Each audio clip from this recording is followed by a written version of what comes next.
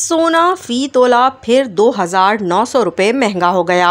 मकामी सराफा मार्किटों में बुध के रोज़ 24 कैरेट के हामिल फी तोला सोने की कीमत दो हज़ार नौ सौ रुपये इजाफे के साथ दो लाख चवालीस हज़ार रूपए और फी 10 ग्राम सोने की कीमत दो हज़ार चार सौ सतासी रुपये के इजाफे से दो लाख नौ हज़ार एक सौ इक्यानवे रुपये हो गई है दूसरी जानब बैन अवी बिलियन मार्किट में फ़ी सोने की कीमत अट्ठाईस डॉलर के इजाफे से दो हज़ार तीन सौ पैंसठ डॉलर की सतह पर आ गई दरियसना मुल्क में फ़ी तोला चांदी की कीमत बगैर किसी तब्दीली के दो हज़ार सौ पचास रूपए और फी दस ग्राम चांदी की कीमत भी